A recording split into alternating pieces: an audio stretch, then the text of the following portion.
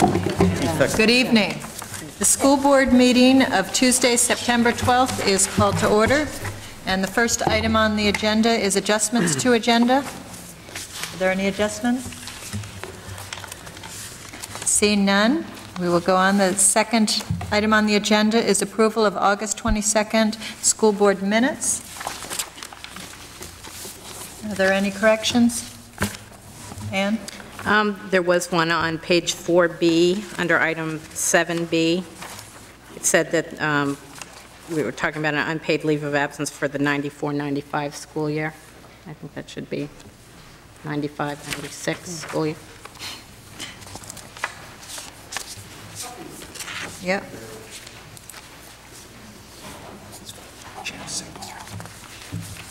Are there any other corrections?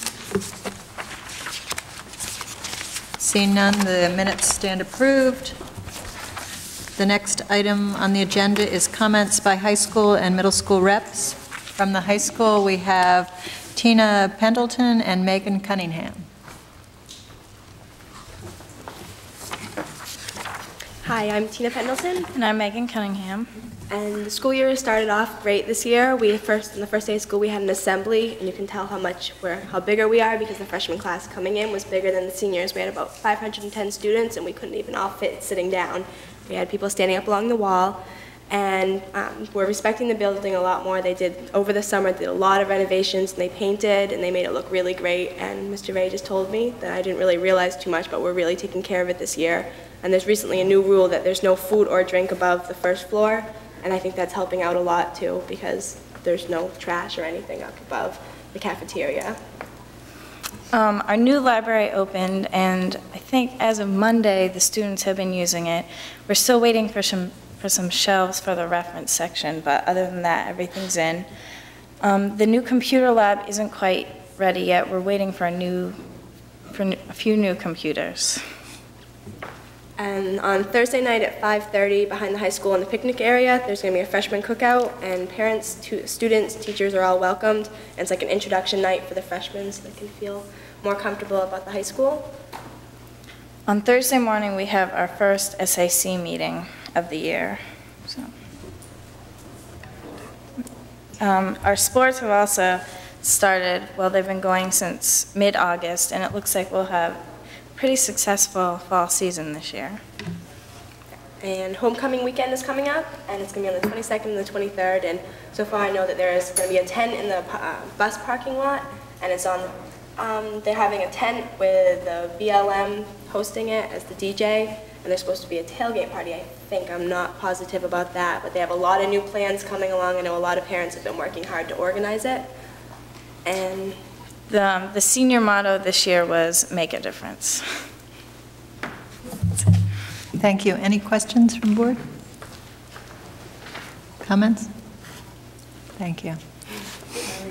Oh, Charlie. Not sorry. from them. Um, It had to do with the high school. I believe the music, there was a Music Boosters organization forming, and I believe they had a meeting on Monday. Has anybody attended that could tell us? Uh, I didn't attend it, but uh, I understand it was a very good turnout. About 24 people showed up. They are really being proactive about getting the music boosters off the ground. Uh, They're going to be uh, uh, manning a booth at homecoming and uh, I guess at uh, open house as well. Thank you. Um, I think we'll have middle school reps next meeting. Is that right? Thanks. The next item on the agenda is communications. Connie? Um, I would want to make a note that um, you may recall last spring, we talked about Steve Conley, um, a middle school science teacher, having been a uh, semifinalist for the Teacher of the Year. um, I don't know if really call that a competition or not, but selection Teacher of the Year. Uh, He's been notified that he is now one of three finalists, so that we will be supporting him and wishing him um, lots of of uh, support for his uh, final go-round. Whatever happens, we're proud of. Um, Also, I included in your packet some information. Uh, You have a a letter from Charlotte Hanna. Teacher was on sabbatical last year, thanking you for that opportunity and telling you a little bit about um, how invaluable that was for her.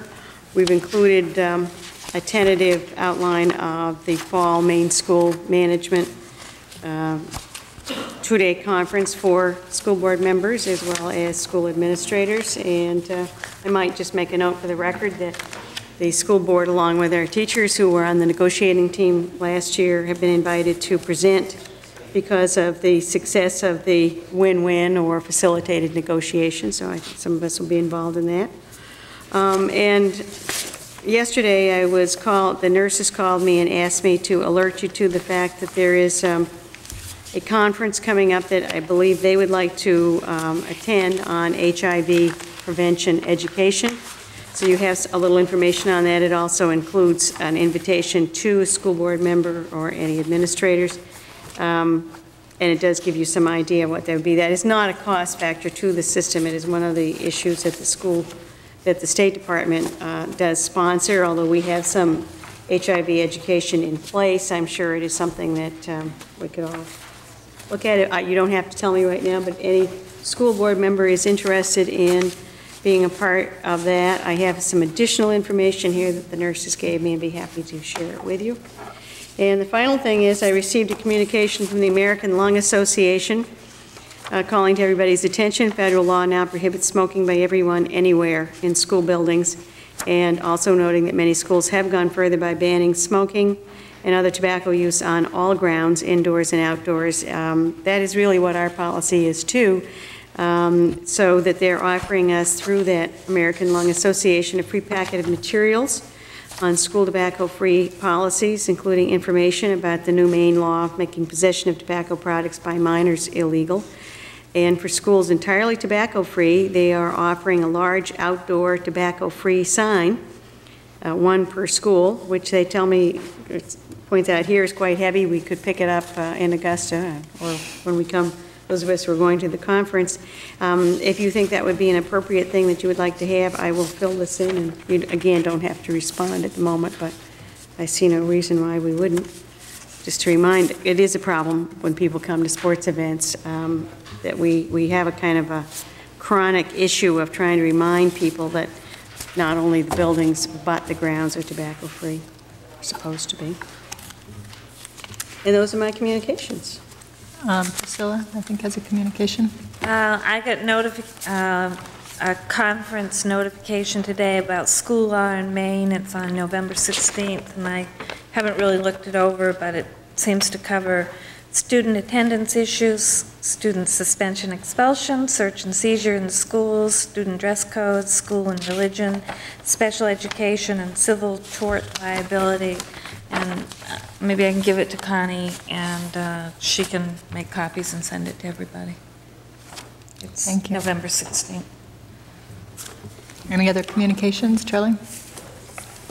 Um, On September 21st, I will be attending a full meeting uh, as an advisor, your representative advisor to the new Portland Arts and Technology High School, which pla- replaces the PVRTC designation. Thank you. Any others? Seeing none, we'll go on. The next item on the agenda is superintendent's report. Connie? And the first item is a report on the fourth grade MEA test results. Um, You did have information in your packet. Uh, Lyle Kramer, guidance counselor at the middle school, will um, summarize or point out some of the other issues. And um, also, I did include some of the stu- the student, actual samples of student work that you might like to see in the file. Okay, thank you. Um, What I'll do is just touch upon the highlights and then respond to any questions you folks may have. Uh, In grade four, last year, all of our students took the test.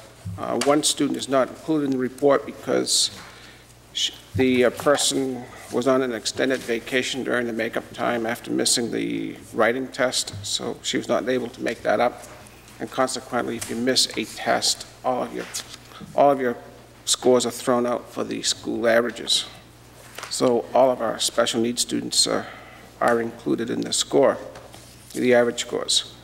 Um, All of the average scores this year are up quite a bit. I listed them there for you in reading. It's 400. Remember, this is a scaled score with a range of 100 to 400. Uh, Reading was 400, writing 325, math 400, science 355, social studies 310, humanities 340, and health was 280. Um, I've not had a chance to follow this up with advanced systems, but uh, I noticed an interesting fact in the, in the uh, scores that were published in the Sunday Telegram. Oh, I could not find any scores that were much higher than 280 or 295. So I don't understand that, but I'll try to get, track down that information for you. So uh, even though that's not as high as our other scores, it was equally high or about as high as any other school in the state. Our special needs students did real well this year, many of them scoring equal to the uh, state average, and in many cases above the state average.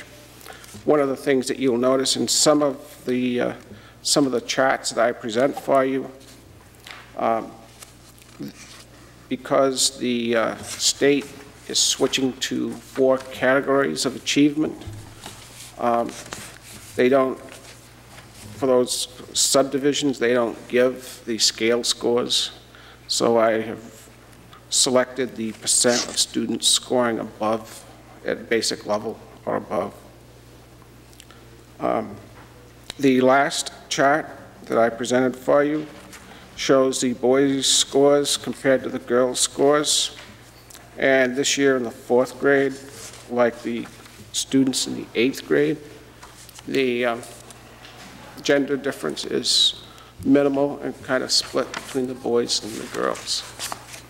Uh, We had some discussion, if you recall, back in the springtime about that, and, and the pattern that we saw in the springtime is very similar to what happened in the fourth grade, and I would suspect that my, uh, or my comments would be the same about this as was in the springtime. The, um, the other thing that I would like to point out is, uh, in the springtime too, you remember Superintendent Goldman and I questioned some of the changes and the level of difficulty on the questions. And, and I'd like to point out that because we scored the high, very high, and the highest in many cases, it still doesn't necessarily mean that this is a good test. My, my uh, comment is that we probably did real well on a pretty poor test. And that concludes my remarks. Thank you. Questions from the board? Comments? Carla? Um, We had a sample of some of the reading passages and examples of different answers, advanced or novice or basic. Um, This is a time test, correct? Uh, Well, no, it isn't.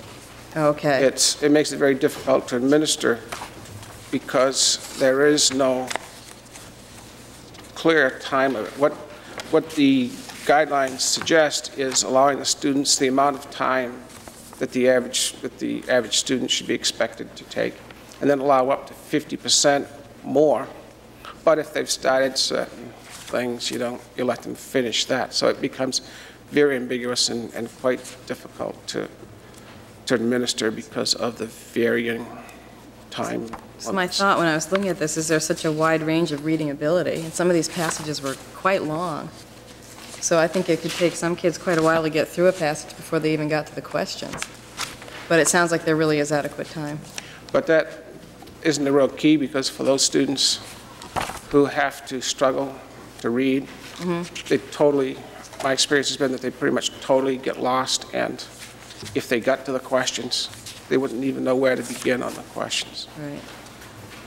So- So even if they had more time, it really doesn't help them very much, because the, if the reading difficulty is so difficult that it takes them that long to struggle through the mechanics of the reading, to comprehend the, to even comprehend what the question is asking, and, and some of your teachers will probably verify this, that uh, it's so difficult that some of the kids don't understand the concept that the question is asking and what really is, is the point of the question. And that probably would be reflected in the way they answered them, clearly.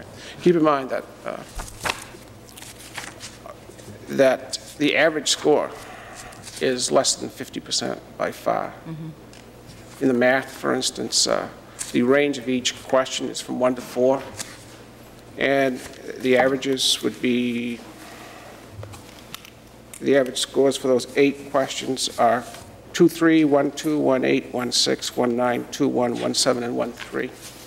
So in many cases, one and a quarter or one and a third uh, questions out of, I mean, points are awarded to the average student out of four, four potential points. What that does is that that means, and that's related to why we probably did quite well. What that does is, is narrow your band, your, your bell-shaped curve becomes very narrow. So if you do a little bit better, you get way ahead of quite a few kids real quickly. Because not many kids, you know, you don't have, in terms of points for each question, you don't have to go very far, get very many correct before you have a real high score compared to other students. Other questions? Keith? I was curious on the first page, the, the number scores for 94, 95, 400, 325, and 400, and so forth. Uh, How those numbers were arrived at if the test is completely different than the previous year? Were they somehow interpreted by us or by the state? The, the test is not completely different. That, even though it's different, but it's not completely different. Okay. By that, I mean, they used to have, they used to have four, they used to have these four-point questions that required an open-ended response for about 50% of the questions. Mm-hmm. And the other 50%, for the most part, in reading, were multiple choice. Right. What they've done is switch to all open-ended questions. And the way that they arrive at those kind of scale scores is instead of, instead of looking at, instead of looking at uh, the number of multiple choice questions correct, they've simply, uh, for each, for each uh, question, they award one of four different scores, one, two, three, and four. They simply add those all up, and then in terms of reporting out, they treat those numbers exactly the same as the number correct.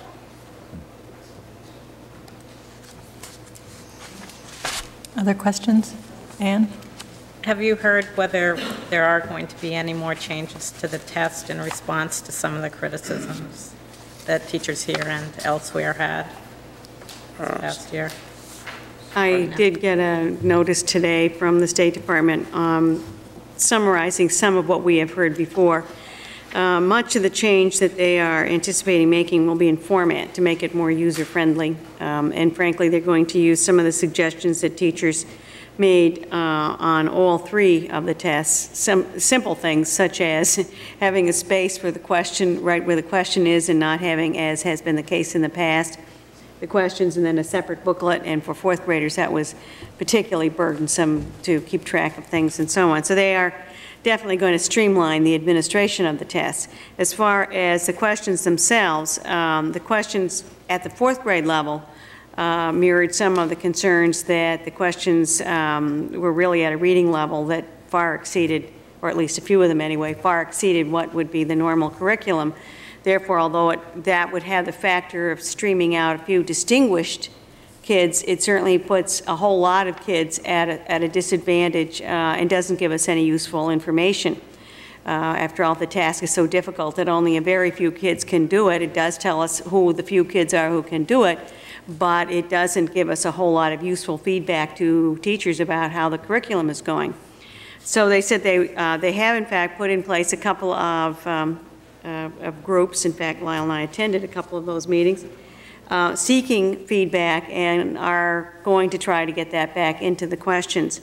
Um, I think the reality is, of course, that the idea of performance-based testing, uh, which frankly I approve of, uh, is very much with us. I just think we need to be realistic that this is difficult in some respects. And I think also what I am particularly concerned about is whether or not our staff is, is aware of what in fact the major issues are that people are looking for. For instance, when the uh, essay form writing samples came out a few years ago, teachers themselves scored those, and it became a staff development exercise for teachers. They began to understand better how you would deal holistically with uh, essays, and then they could actually take that understanding and turn it around as a teaching uh, form. One of the problems with the content area essay questions that are now being used in the performance tests is that the teachers will not be trained to do that. They have trained the, um, at the present format anyway, is to train people, in some cases retired scientists and what have you, to use a rubric and to correct the questions that way rather than using it as a staff development exercise for teachers. Um, this leaves us somewhat uh, unsure of how we can use this feedback to help us um, kind of close the loop between what the test is, what the state performance test is looking for and what in fact curriculum uh, is actually dealing with. And um, so those are some of the issues, some of which are still out there and will have to be dealt with on an ongoing basis. Um, I thought you might be interested in me and my veggies and a few of the others, and um, Certainly, there are some obvious differences in the answers. When you read them very carefully, however, I suspect you will find that some of those answers are, those differences are not as obvious as they look, um, et cetera. But And to that end, I will be visiting with most of the teams in the elementary school and the middle school to provide that kind of feedback so that teachers do develop a good awareness of what kind of challenges the kids face both at the fourth grade level and at the eighth grade level. And not, and not meeting with just fourth and eighth grade teachers, because this is a school-wide test. It measures what students have been able to achieve over four years uh, of their entire school career. I, I did forget to put into your packet the answer. Remember, last year when we were talking about this, I told you how puzzled I was by the question for fourth graders that had the rock that had to be moved um, and so forth. And they did include some samples and the distinguished answer, which I thought was pretty neat from a fourth grade student, still is far from a physical answer to the question. So that suggested to me that they were satisfied with answers that were a long way from what one could call a true answer to the question, which I think is a tacit admission that the question was much too difficult for the sample of kids taking it. But we'll see. Those are sort of what I hope are growing pains and that they will do a better match this year. Other questions or comments? Okay, Thank you. Thank you. uh, Moving on? Yep. Um, Opening day, well, we, um, we are certainly relieved to be in the buildings. And anybody watching this or anybody involved, uh, you are uh, invited to come uh, to Pond Cove Middle School. Uh, Please identify yourself in one of the offices so that we aren't, I'm not asking, I see the principal sitting over here. I really am not trying to bring the entire community in on one morning. Uh, But um, we also will be having open houses. Um, We are really waiting for our formal dedication ceremony until the project is finally finished, which will be, we hope, by Thanksgiving. So just to give you a target date that we will be able to do that. And we're certainly looking forward to having um, all kinds of people uh, celebrate getting this thing done. Um, we did start the year also, by the way, for those of you who weren't there, with handing out the appreciation mugs. You may recall part of your contract uh, negotiations with te- teachers was to establish a routine where, um, for years of longevity, various um, recognitions pieces will be in place. And, and since this was year one of that, we, we gave out, how many mugs did we give out? It was like 100 85? Something like that. It was a lot. And some, 158. some of you were there. It was a lot of fun. Um, in fact, Joe Conroy, who is one of our senior senior members, who actually is retired but does teach one class for us, uh, told me this morning he was in to pick up his mug, and he said, "You know, for 32 years I came every opening day. I was always there, and this year I didn't come." And he was, of course, the last person to receive the mug, and so we had a little celebration this morning. But um, I know he thinks he missed something, which he did. It was, it was really nice. Um, I think that there are no remarkable, I'm very happy to say, there are really no remarkable conditions. We've had a few glitches about this or that, the other. Um, But we've heard tonight from the high school, they were feeling upbeat about things, and uh, uh, I think we're really feeling like the end is in sight as far as construction, and looking forward to having most of our focus go on academics. That's it. Any questions? Great. Oh, you No, no Ann. question, but that really was a lot of fun handing out those mugs, and what was quite extraordinary was to see how many hands we had to shake that morning. It- It's really, it's, it's really incredible what, um, a lot of people have been here a very long time, and I think it speaks very well um, for people's loyalty to the systems. That that was nice for us to see. Yep. And I think the other thing that was really heartwarming, we had all of our people there. That is, we had bus drivers, we had custodians, we had women who work in the uh, cafeteria, we had um, our teacher aides and assistants, although most of those do not have longevity, because in fact, that is a kind of a turnover space. Um, But I thought that was nice. It was sort of like a community celebration. Now we should give them to the school board.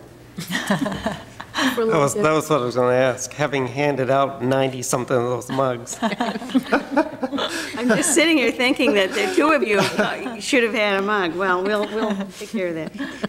Um, Okay, moving on. The National Science Foundation grant, which uh, you are aware of, and I gave you some information in your packet. I think the thing that we realize, um, a number of people have been telling me how hard it is to get these. I knew we had worked on it, but I didn't realize that it was quite that um, unusual. At any rate, we have a lot of work ahead of us this year, and um, in the preliminary conversations I've had with people from the other school districts as well as our own people, this is an opportunity for us to develop a, um, a model for how we do this kind of curriculum work, although the emphasis will be on staff development opportunities for teachers at the elementary level. Uh, The process requires us to do a lot of data collection, analysis of what in fact our programs are. Um, It will expose us to the same kind of information from our two neighboring school districts and uh, give us a lot of of, uh, thoughtful opportunities for planning. Um, Whether we get the major grant or not, we will have a blueprint that we can move forward with. And in science, uh, in particular, this feels really good for us to get a handle on it. I do want to point out, it- although it says science grant, it is um, uh, also targeting math education and the use of technology. It's one of those things where the good news is you got the grant, the bad news is you got to do it. It's a lot of work. Um, Update on construction project, I I haven't got a whole lot to say on that, and I'm not sure that Sue does at this point. Uh, We're, uh, so much of what's going on now is really obvious. I do want to remind the board as well as our audience that uh, we're at the punch list stage for much of the uh, building. Punch list simply means that it's a long list of uh, imperfections. And uh, just in case anybody's worried, we do have retainage. Obviously, money is held back until we're satisfied that the job has been done, and that's a process that our architectural firm, as well as all of our internal uh, controls, will be working on. And some of that's going to take a while, but um, because we have to live in the building and use it even while some of those things are going on. The high school gym is actually moving faster than we had thought. We will be refinishing that, that floor. Um, And we are checking on the bleachers. Um, That's uh, a safety check. Those are the original bleachers, I believe. Do you know, Sue? I think they are. Pretty sure they are. Um, So we may be coming back to you with some less than pleasant updates on that, but, you know, those are things that can be fixed. And the brickwork on the outside of the 30s building is being repointed, will be repointed, and um, so hopefully really bring that up, up to speed. Be nice to see that done. That's pretty much it. Other than uh, the middle school library, um, plan to start moving things back in tomorrow. Good. So hopefully in about a week, that should be reorganized. Great. Okay? Yep. And then you asked us to, uh, beginning last spring, to check on, and in August at our meeting, to come back to you with school procedure for Pledge of Allegiance as we were reviewing policies. Um, I did note in the agenda notes um, that at the middle school, and I've subsequently discovered that it's also true at Pond Cove, we really don't have all our brackets up and flags up, and will not be doing any regular pledge um, routine until that is accomplished. Uh, We are certainly planning on making sure that this is kind of a curriculum area, too, that children do know the words, and I I appreciate my conversation with Pond Cove Principal Tom. Children need to know what the words mean, so we don't want to just teach them uh, an empty routine. We really will be working on that in a variety of ways and let you know about it. But first, we got to get the flags up. Thank you, Connie. Any questions? Next item on the agenda is school board subcommittees and reports. Finance Subcommittee. Charlie? Uh, We met this evening at 6:30 in the Chamber Conference Room. Um, We reviewed the computer lease for district-wide technology plan, which we will vote on later in our meeting. Um, We looked at a school department vehicle replacement schedule. We asked our business manager to to bring all that data together so that we could have some idea uh, for future budgeting on what our our vehicle replacement should be. Uh, We looked at a pending workers' compensation claim. We reviewed the appropriation report and signed warrants. Um, In the computer lease profile that the business manager handed out to us at our business meeting, um, the technology plan actually called for a five-year plan, and in the first three years was actually the acquisition of a lot of hardware. Um, The technology um, committee decided last year that maybe we should, we really should probably concentrate on outfitting most of our three computer labs, since they both, all three would be renovated and, and, and up in place. Originally, we had looked at the high school of one computer per department, a half computer for the library expansion, one-third for classrooms in the middle school, and one half of the, of the middle school lab. And we would finish the grade levels at Pond Cove and bring up a half a lab. The Pond Cove actually, through the Parents Association, has brought um, the grade levels up to full speed. The middle school is not, that's one area we will have to work on, is to actually work on getting computers into the classroom. But we will bring, be bringing up all three high school, middle school, and Pond Cove computer labs to, to full efficiency with, through a leasing purchase of a three-year lease purchase agreement. We actually will be purchasing about 45 Power Macs and about 10 IBM Pentium um, computers. Um, In the high school, as far as classroom, uh, with the acquisition of, of the IBMs, we are actually, and the move of the computer lab to, to outside the high school library, we're still going to maintain a room, the present uh, computer lab room, for use by the science and math departments, and six computers will stay there. Um, When the industrial arts wing gets their, um, their seven new Macs, what Gary's plan is, is to release seven of tho- those seven, seven of his older Macs to the classrooms. So he is actually going to start integrating into the classrooms. So the one area we're really going to have to start in future budgeting is to look at the middle school classrooms as far as computer purchasing. And also, thanks to the Pond Cove Parents Association, since we had only budgeted a half a lab, they have a, they have a, um, entered in ag- agreement with us to also purchase 12 additional Power Macs to bring that um, computer lab up to, up to speed, and have made a commitment over three years to do that, and we thank them. Any questions or comments? The next item is School Building Committee. Charlie report. Okay, the School Building Committee met on August 31st in the new Pond Cove Middle School cafetorium.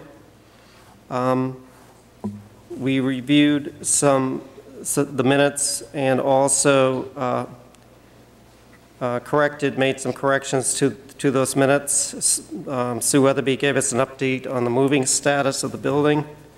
Uh, Since this was a week before school was to start, uh, there was a lot going on, even while we were meeting. Um, The committee also discussed a process for additional grounds plannings because there, already we're getting requests as memorials and those type of things to, to plant trees and, and shrubbery. So both the town manager and the, um, the superintendent of schools will sometime in the future convene kind of an ad hoc group to develop some kind of a process so that we have, have some handle on what's happening to, to our grounds.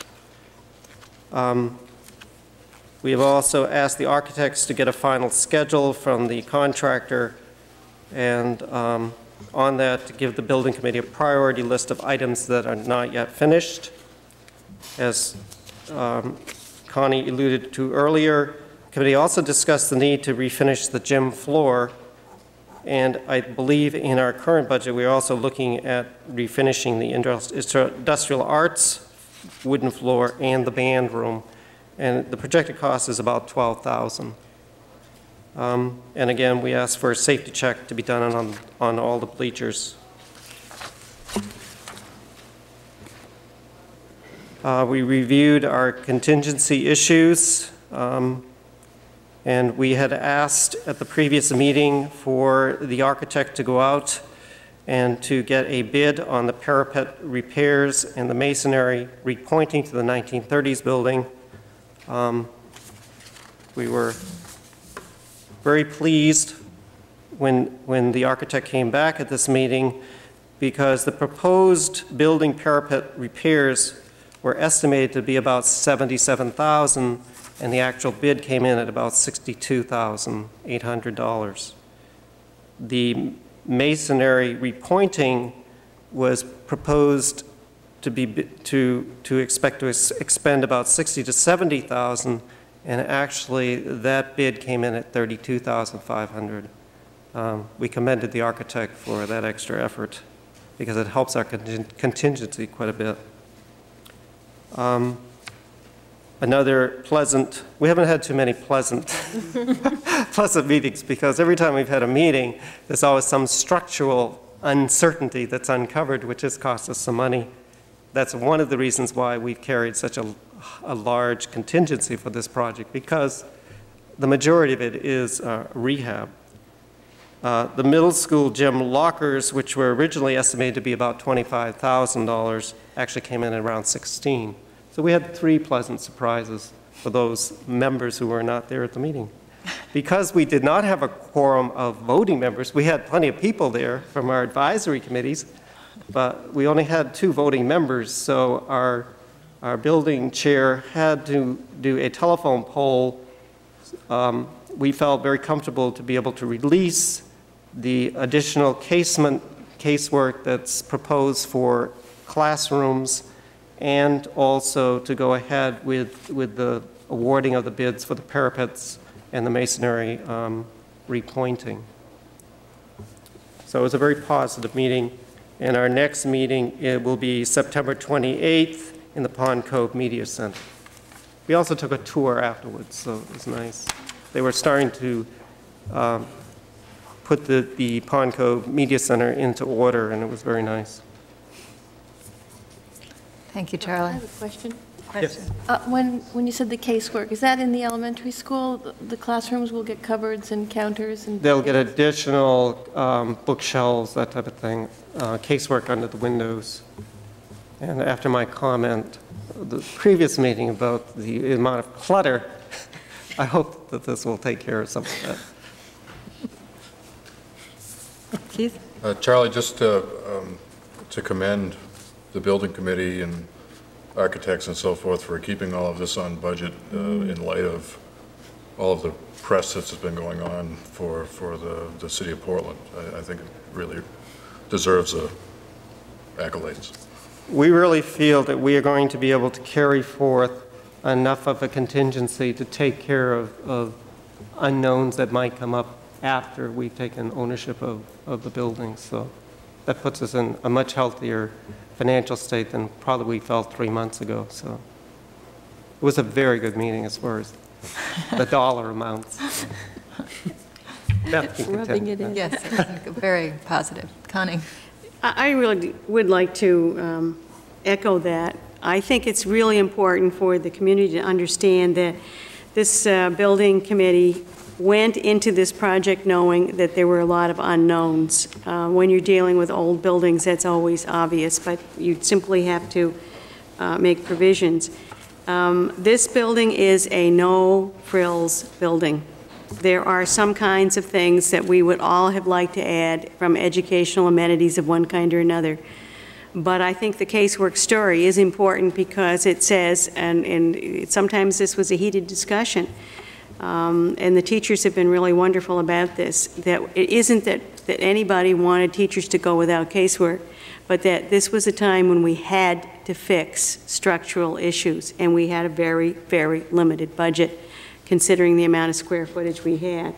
So we appreciate the fact that now we have been able to release that money. It's not a princely sum, and it won't result in the, um, probably in as much casework as people would like, but at least it's something. And it does represent our commitment to be on time and on budget in this project, and the committee was really very instrumental in doing that. But I also want to point out and thank the teachers for their patience in this. They have understood and um, been willing to, you know, kind of roll with the punches, understanding that first things first. And we truly have to commend both Sue Weatherby and the custodial staff for being able to pull the buildings together essentially in a week, in less than a week, to make them presentable so that people could actually move into the classrooms. I mean, it just, it's unbelievable, the amount of time and dedication that these people put in. And it starts with our leadership. Well, I think the, um, again, speaking of Sue, uh, I don't know, I've known a number of people involved in school building projects. I've never known anybody who spends weekends, um, nights, and pushes boxes around with the custodians in order to do that. Uh, So I I really think the community owes everybody involved, um, particularly so. Um, But also the administrators were there a lot. They pushed boxes around too, don't leave anybody out. Um, It's been a team effort and a very heartwarming one. And I also want to to commend the school uh, administration and staff. Um, They are really getting to the kids. I mean, listen to the high school students tonight. That message is getting across, that we are going to take care of these buildings. And I've been through all three buildings in the past week, just kind of sort of sailing through in some cases, um, and it is notably being picked up. Um, We do, we know, we're realistic, we've lived with kids all our lives. We know that this is going to fade, but we're going to keep working at it, and we're going to make sure that we can assure the community that we have those processes, and and we are grateful. Carla? I know that message is also getting through to the middle school because I had a parent of a middle schooler tell me that within the first couple of days of school, their daughter came home and said, "They are really making us pick up this year."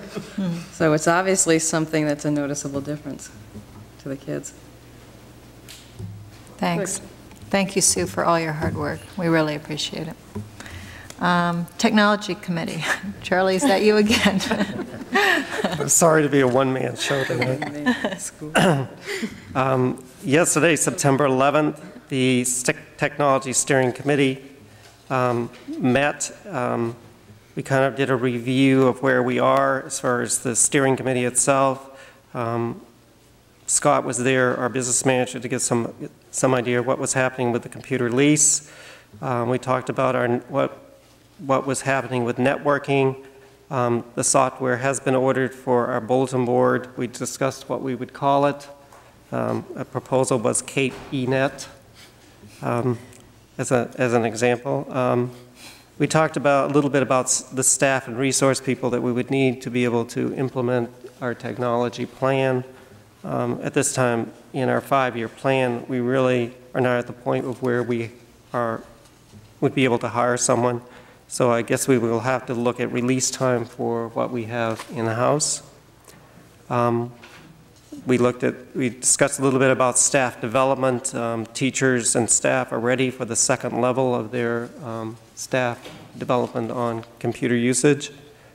Um, Randy, Gary, and Andrew, who are building um, technology reps, are are a subcommittee and will start again um, that program. We talked a little bit about the administrative software package that the, the high school is still waiting for uh, feedback. And again, talked about the ability of these systems to be able to network from one building to another. Pond Cove and Middle School, we think, because they both have some type of, of uh, uh, Mac program, are, are probably going to be easier to meld. The high school's still looking at an AES plan, but I'm sure there are, are, are gates out there that would help us to, uh, to integrate into a system-wide approach. Um, We reviewed who, our maintenance repair contract, which will be with Kim Young of CRC.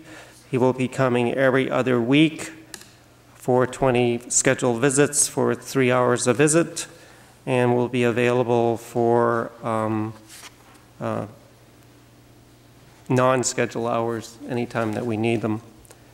Um, We are looking at sending to the school board uh, policy subcommittee some ideas on looking at software policy, those kind of issues. And um, we will be meeting again on the 16th of October, and they're going to rotate the meetings, and this will be in the new middle school library at 3:15. Any questions? Anne? I just have a comment as far as uh, technology and the curriculum itself goes, and that is, um, actually, I was having a conversation with Gail today, and after, uh, and about the experience, of actually, her son going to college and his experience with where he was expected to be with computer use. Um, And it got me to thinking afterwards that, um, you know, we've talked about trying to get feedback from the students after they've moved on, and we definitely need to do that. But I think while we're in the process of doing that, I think it might be useful if we could, there must be a way for the guidance department to compile some, some kind of information on what colleges are looking for in terms of, you know, computer literacy um, of our graduates, so that we can really start putting into place um, a curriculum that makes sure kids are prepared, because I don't like to hear stories about kids having to take remedial classes or not being able to, you know, maybe keep up with their classes the way maybe they could um, if they were where they should be. And I think it's kind of, a- it's one of those things that we can do kind of top-down. And I think we're still too much in the process of, you know, teaching introductory type courses at, at all levels of the school. So it just occurred to me this afternoon, maybe one way of going about that is see what colleges expect, and then we can work backwards from there, so. One of the suggestions last year from the steering committee was it- looking at curriculum and where this particular steering committee could be of use, was to look at the research strand, which is a- a goal of the board, and actually the mechanics, of being more involved with the mechanics of that, which I think would help Right. those students be prepared for what Well, I guess I need to say something here. Um, I've spoken to Rick DeFusco and Ann and Skip Crosby and a couple other people through the last week um, after dropping my son off at college. And I had sat in on a um, demonstration English class and just came away so excited about the possibilities of what a computer can do for a classroom and how alive and vital it can make any discipline. Um, and wondered if uh, there wouldn't be some way that we could um, set aside a, a professional day, and I, I'm not sure what's happened with the professional days that's coming up, but for the entire um, staff, K-12, to show them, with an outside person, to show them the, the possibilities, the vision of, of what can happen with technology and what is available today in, for classrooms, and kind of give an infusion of energy and um, a dream that people can work towards and perhaps um, bring about some of our changes. So I'm all for technology development. Great, thank you. Uh, Next item is Staff Development Committee. Um, Connie, do you want to speak on that? And Connie and I went to the first meeting, was it yesterday? Right. um, And the, this is a, a a committee that has both a short-term and a long-term focus. The short-term focus is, we did in fact add two days to the teacher uh, work year through negotiations, um, so that, since that, those are two new days, um, we agreed through that process that a group with teacher representation as well as uh, school board representation would meet to discuss, okay, what's the best way to use those days, what kind of process would we use, and so on. Obviously, it is very clear to us as we get into that, that there's a long-term focus also, which is um, what is the vision for staff development? Uh, We have been fairly building by building, although we have some projects that are very clearly systemic, and uh, this is a good time to take a new lease on life on all of those issues. Um, I haven't had a chance to talk to everybody in that committee, but I, I did follow up some of the suggestions that were made yesterday and have um, called a um, consultant who does work with staff development, who will be with us at our meeting next week. I thought that we, although we had a lot of good ideas, we were sort of all over the ballpark, and I thought this is another one of those examples where getting people who have uh, taken several steps beyond where we happen to be um, is a good idea. So um, we will be sorting that out and getting back to people. It is an exciting opportunity, though, and technology is very much, was one of the topics we certainly talked about. The next item is the Policy Subcommittee. Ann? Um, Will you all received in your um, packet a summary of um, our meeting on August 23rd, but just for the benefit of the public, um, since we've had kind of a long time, we haven't talked about policy, I'll just go over um, what we discussed at that meeting. That meeting was basically just to kind of get an idea where we stand in terms of the policy book and what areas we might like to focus on and follow up on this year.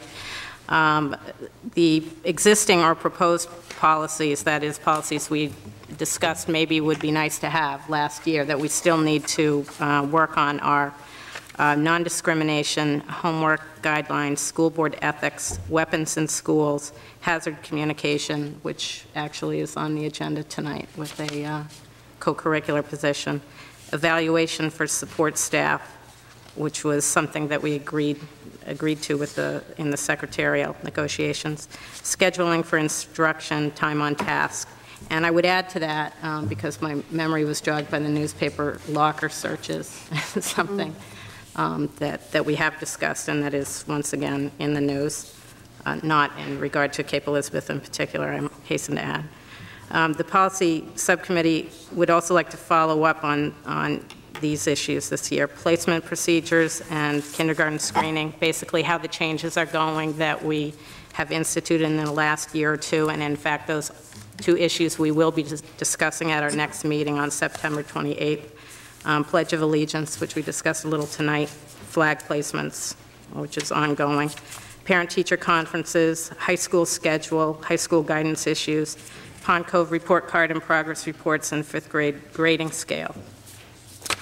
Um, Other issues that we discussed that we'd we'd like to look at this year, if we can, are um, system-wide cheating policy, a policy on reading instruction, which we're basically going to have uh, kind of an introductory discussion of that at our next meeting as well.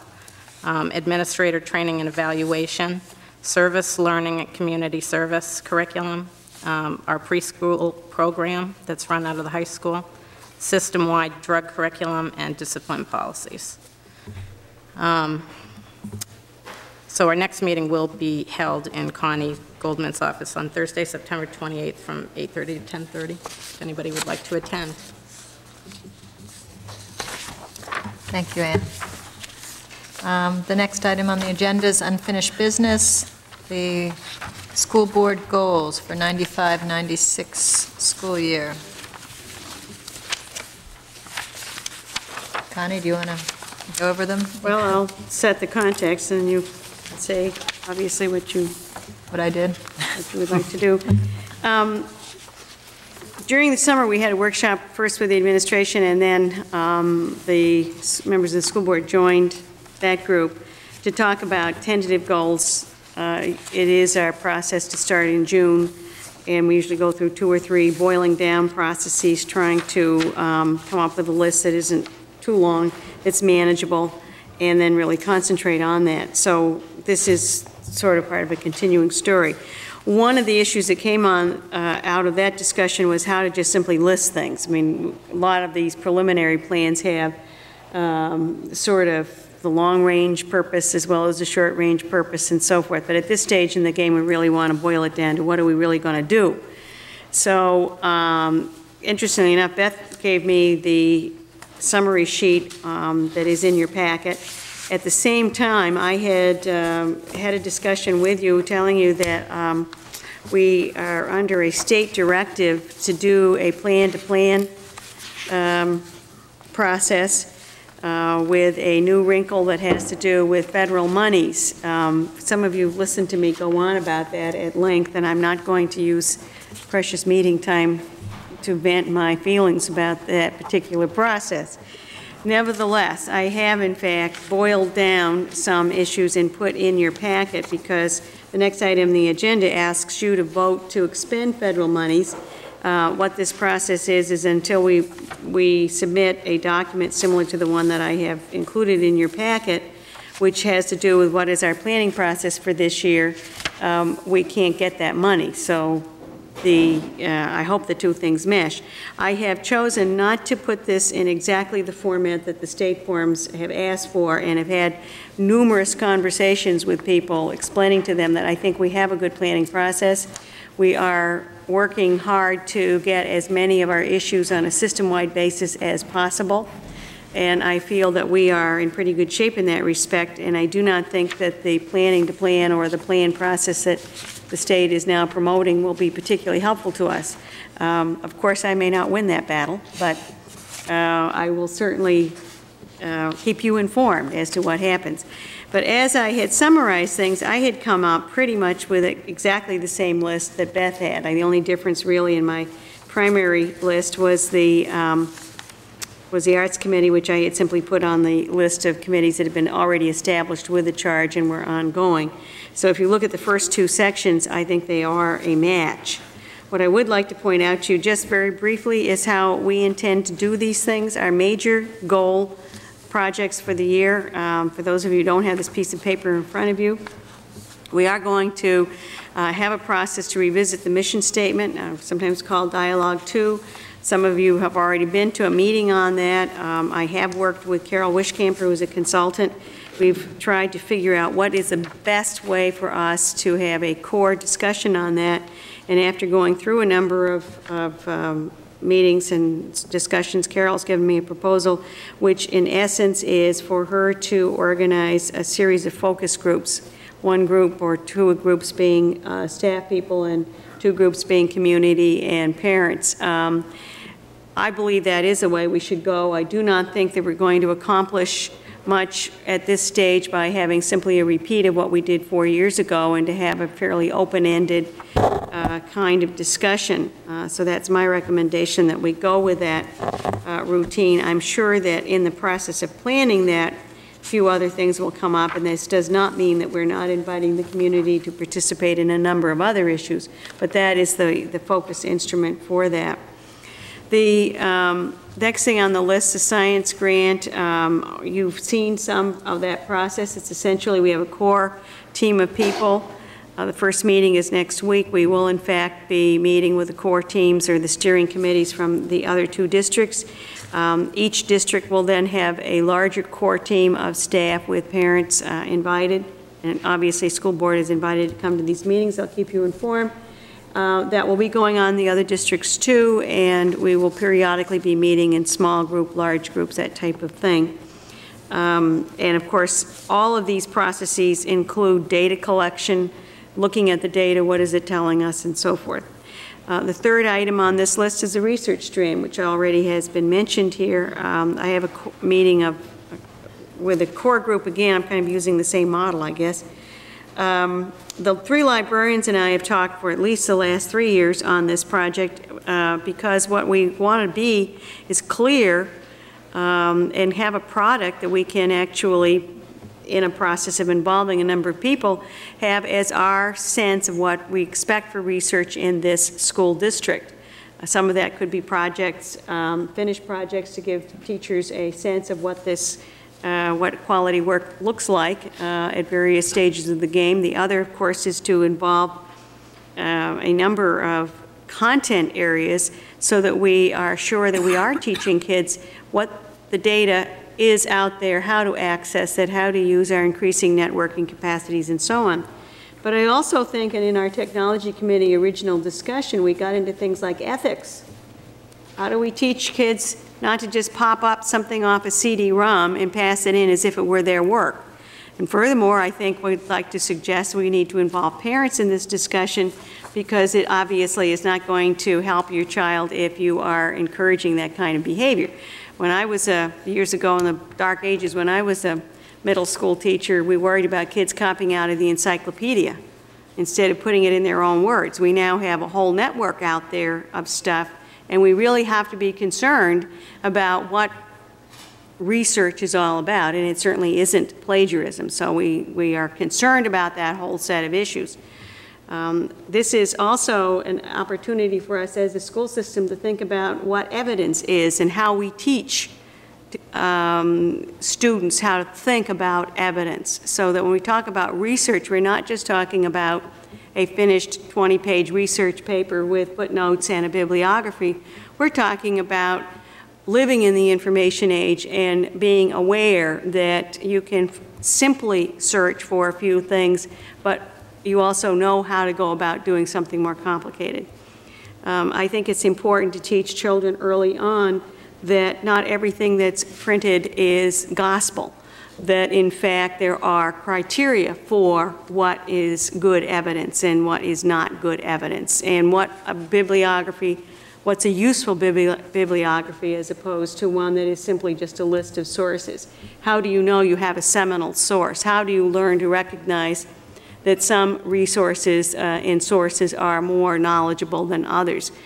In order to do this, what we have in mind is a sort of spiral curriculum uh, that starts with children early on in first, second grade, whenever they actually start, maybe doing very simple uh, evidence, learning how to ask questions, how to find in, in responsible ways the answers to those questions, and build from year to year on that capacity. We have a number of ideas about how to do this. We have we have many teachers in our system who are in fact doing a fine job in bits and pieces. What our project will do is to put those pieces out on the table, look at them, see where they're connected, what pieces are missing, and ultimately uh, come up with something that can be read by all our staff as well as our students naturally and parents. Um, and uh, we hope we'll have a consistency that will guide us in this important area. It's a I love this project, and I will be working on it. Um, The next item is um, staff development. We've already talked a little bit about that. Uh, The maintenance plan for the newly renovated spaces um, and the Arts Committee, which we established last year. The ongoing pieces of work that, that we're committed to. Uh, Certification is an issue that we need to revisit um, this year, but did talk about last year. Our Technology Committee, you've already had a report from that. The Building Committee, we, we really will be retiring the Building Committee. I guess some of us will hardly know what to do with our Thursday evenings, but we'll probably find something. And um, the uh, uh, Arts Education. And I thought it was remarkable that those are almost a um, cross-section. I did notice that there was a reading committee on the board's list, I'm not sure, um, I didn't put it on because I saw that as being folded into some of the others, but the, uh, I noted that you listed it under policy, and perhaps that's where it should be. Then the rest of the board goal sheet, as Beth has put it together, is a list of things that are not so much full board goals as requests from the board to have the individual buildings be aware that these are issues that have been out there on discussion and that you would like reports back on, whether they can be done or not, or whether they should be done or not, up for some discussion. That's my understanding.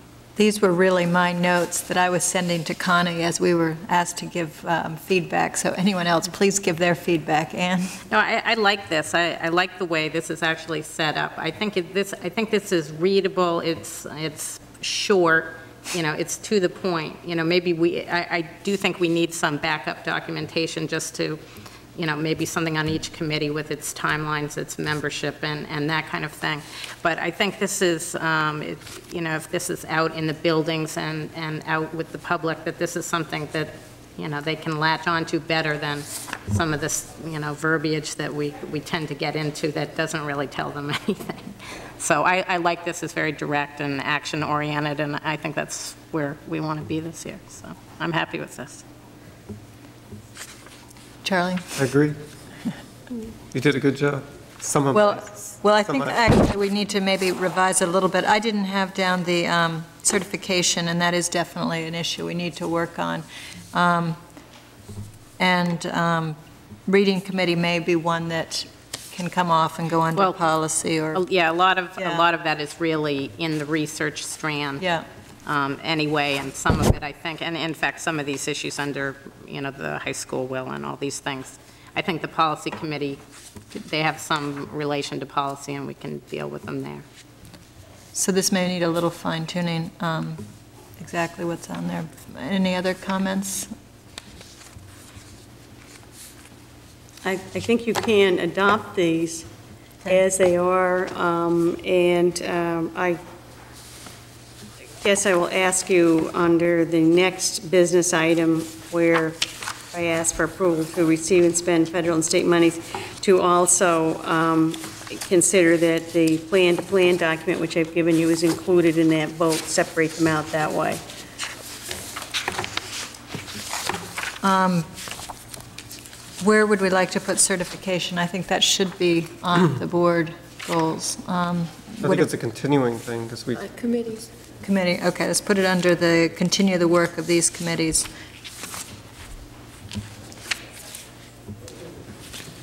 And um, Connie had Arts Committee down on the continuing committees. I just wasn't sure we had a charge and a timeline for that committee, and I think that's why I put it um, in the top. Do we have a formal charge and timeline? Uh, Well, they only met once. Yeah, I'm not sure we So let's move it up to the... Okay, let's keep it in, keep it in the top category. Um, Reading Committee, I know, had been alive last year, or at least met once, uh, which is why I think I put it, I left it there, since it was something I was certainly interested in seeing continuing. If anyone feels that that should go off and go into policy, that's fine too, though. I think it should, because I think realistically, it's the research part of that. I mean, that, that whole discussion of research came out of that committee originally, I think, you know, not the, not the system-wide committee, but the Pond Cove Committee, I think is where that germinated, and um, I think that's the major focus, and I think we need to look at whether we have some policy issues. I don't know what that committee has to do on its own this year, The Reading Committee. yeah. So we could remove that from there. All right, let's remove the reading committee. Um, And I'm not cer- sure the high school renovation is not a committee. It's more um, the work we, we plan to continue. Put that under high school will continue work on renovation? Um, I could care for the building, the way you sort of did under Pond Cove and Middle School. Instead of new, just say care for the building plus renovations. I'd actually maybe put it at the bottom under the school board will and just continue the high school renovation project, or the high school five-year plan, if that makes anybody feel.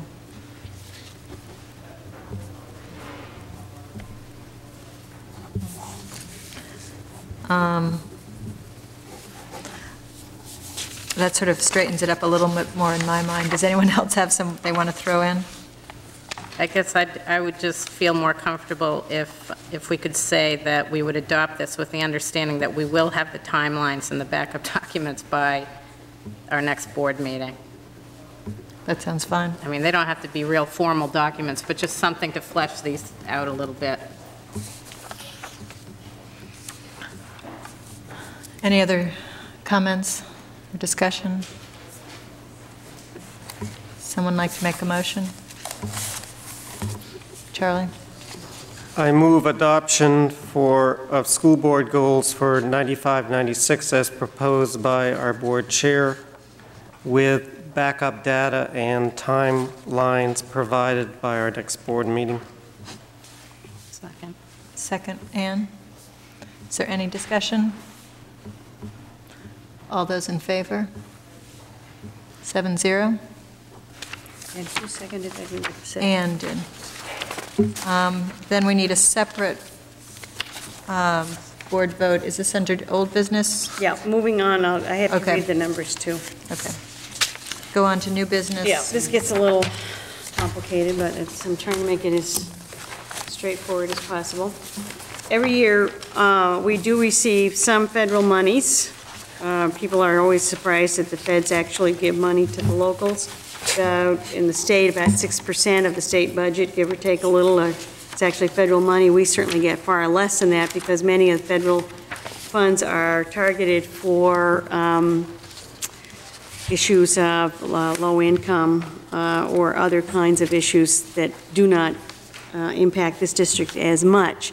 Nevertheless, um, there, every year we have a series of forms that we have to fill out, um, and that these are all monies that are uh, quite restricted in what we can apply for, what we can use them for, and so I haven't listed everything there, but all of this, as I pointed out to you, is in our budget document. Each one of these is a separate little budget that is uh, listed in your appropriation control, so you have, you can keep a record of it. So the federal monies that we are uh, preparing the material for, we need a vote from you.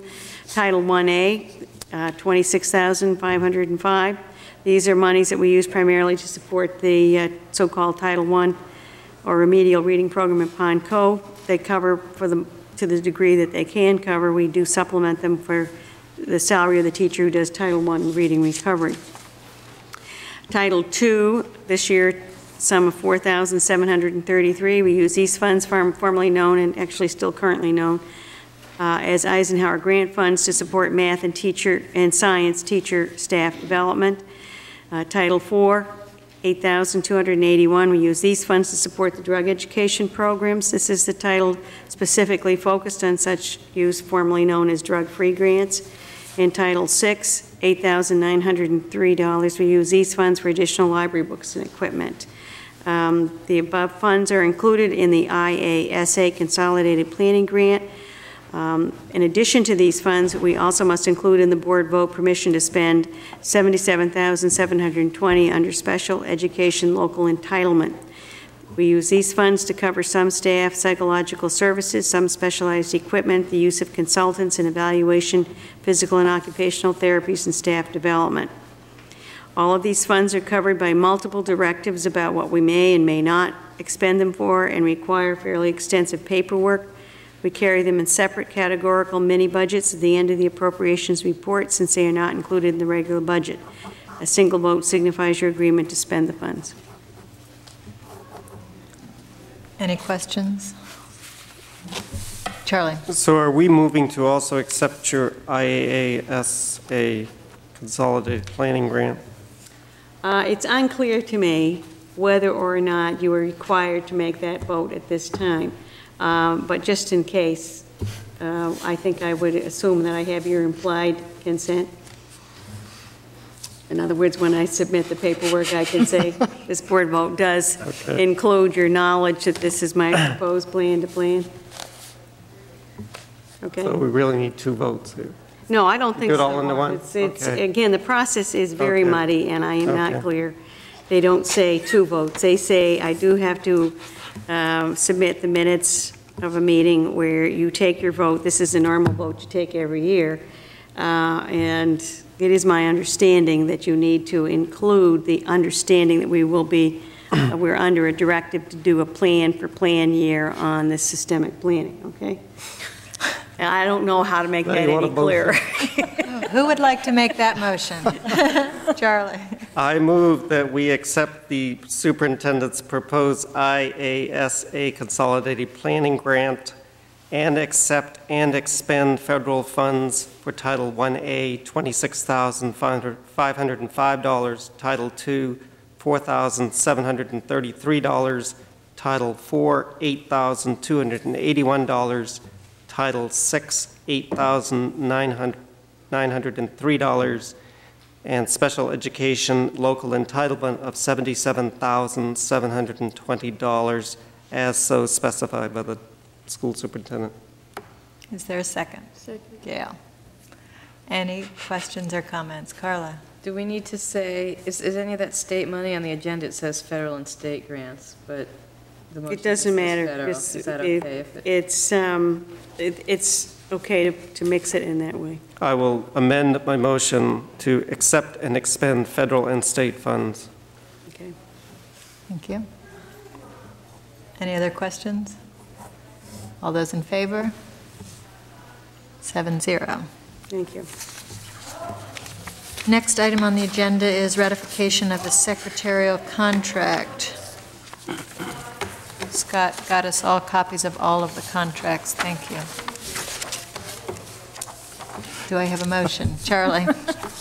Since we're spending money tonight, I move acceptance of the secretarial a- uh, aides contract for the 95-96 school year. Is there a second? Keith? Keith or Ann? Keith. Any comments, questions? All those in favor? Seven zero. All of our contracts are done. Except we Ready just to- received word that we're about to start again. Well, it's like, It's all right, you're done. The next item on the agenda is discussion and action on computer lease package.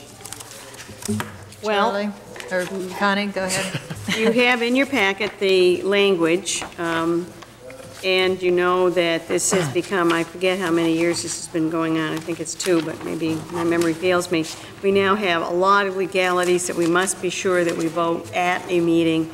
Um, It is not necessary for you to read this vote, but the vote is here, and the motion should carry this vote. Uh, Let me clarify something. Scott, we had, we have some other issues in here, vote plus an amendment or an addendum? That's all we need to, okay. What it is, an amended document from the attorneys from his original document. Okay. Then this is the vote document, the one that says, "Vote to be adopted, that under and pursuant to the provisions of et cetera, et cetera." Charlie? I move adoption of the computer purchase lease as stated, that under and pursuant to the provisions of Title 20-A MRSA Sections 1001 and 1055, the superintendent of schools be and hereby is authorized to execute and deliver a tax-exempt lease purchase agreement with Apple Computer Incorporated in the name and on behalf of the town of Cape Elizabeth by and through its school committee, the user, for computer equipment with an aggregate purchase price not to exceed $126,084 at all. Second. Thank you. Second, Gail. Any questions or discussion? I just have a comment that it's lucky for Charlie, he didn't have to read the whole thing because there's not one period in this. It's one sentence. All those in favor? Seven zero. Thank you, Charlie. Uh, Next item on the agenda is personnel. We have a recommendation for a one-year math teacher. Connie? Uh, And I explained in our, um, in the board notes that um, you will recall last spring, we had a resignation from uh, Christine Newell, math teacher at the high school, um, who felt that she would like to spend more time with her family, and so with regret, we accepted her resignation. And we had um, the request that was granted for one-year leave of absence for Pam Rawson, another high school math teacher, um, in order to spend uh, some time with the Beacon School Initiative in Brunswick. And um, we did in fact advertise, and at that point, Chris, Chrissy decided that um, maybe, um, that in fact, she really wanted to come back. So she went through the process. We, we did in fact talk to some other people, but they- we know her to be a fine teacher. And so uh, I am nominating her for the one-year position to cover the leave of Pam Rawson. Is there any questions? Is there a motion? Someone else gets to do it. I'll move that we Yeah. accept Chris Newell um, for the one-year math position for the high school. Is there a second? Priscilla? Any other questions or comments? Ann? I'm sorry, I I must be just kind of punchy tonight, but maybe some of us find that by the end of the summer, we're ready to go back to work, you know, after spending it with our kids. Maybe two and a half months is enough. So Anyway, I'm glad she's back. I didn't ask her that. All those in favor? Seven zero. Next item on the agenda is a resignation. Mary Mary Gravel. Gravel, I included her, her uh, letter in your packet, and um, she has been a teacher of uh, first Title I and then also uh, Reading Recovery, and she did ask for a leave last year and now has decided to resign. Can I have a motion? Priscilla? I move that we accept the resignation of Mary Gravel. Is there a second? Priscilla? I mean, sorry, Carla. And I second Uh, Any discussion? I just want to say that I know that she's done a very um, terrific job at Pond Cove, and I think some people will miss her. She was an early advocate of Reading Recovery, quite, quite vocal in her praise. All those in favor? Seven zero. Nominations for athletic coaching positions. And you get the right sheet here. Because um, we've had a couple of changes. Which one is the new? I think it's the pink one. Pink. Pink, I'm looking for my pink one. Oh, I've got it, got pink, wait a second. Thank you. Thank you very much. I know it's, I know it is, ah, here it is. Thank you. I want to thank um, whoever was responsible, Keith or whoever, for getting all of the resume items on there. Thank you. So, for coaching positions, we have eighth grade boys soccer, Matt Whaley, seventh grade boys soccer, Matt Riccio, and seventh grade girls soccer, Jody Lewis. Any questions? Charlie? So we, we are no longer going to have a B team? Uh, we don't think we're going to need one. Okay. At this time. Carla? I move that we accept the uh, superintendent's nominations for athletic coaching positions for fall 1995, 1996. I second those. Any discussion? All those in favor? Seven zero. Thank you. Uh, We also have nominations for co-curricular positions for the 95-96 school year. And I would like to add one that came in this afternoon, so I haven't had a chance really to add it. That is, uh, you may recall that on the co-curricular, we have natural helpers advisor. It has been in the past Andrea Kerr. It's still Andrea Kerr, but they would like to split the position between Andrea and Katie Lisa. So the list is Chem Safe Coordinator Dan Reed, uh, Team Leader, Grade 3, uh, excuse me, Ann Caliandro. Uh, We had appointed Lisa Martin earlier, but then she transferred over to um, Title I and Reading Recovery, so she, we needed a third grade teacher. Uh, Department Head for Fine Arts at the high school, Dick Mullen, and Senior Class Advisor Dwight Ely. And the Natural Helpers Advisors, co-advisors Andrea Kerr and Katie Lisa. Carla? Does the um, ChemSafe coordinator also have responsibility in the middle school at all, or is that strictly high school? It's system-wide. System. Any other questions? Is there a motion? Ann? I move that we accept the co-curricular positions for the school year 1995-96 as read. Is there a second? Second those. Charlie? Any further discussion? All those in favor? Seven zero.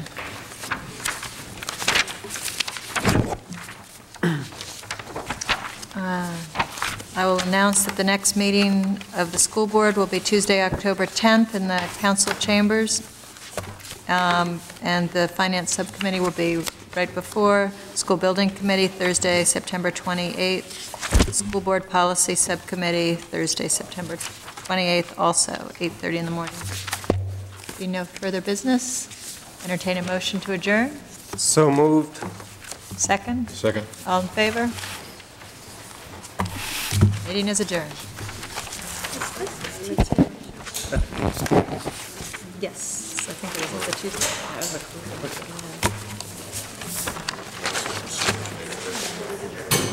Oh, yeah, I didn't even notice that. Priscilla is you. Did the same, Are you Priscilla or? did I save their names? They usually do.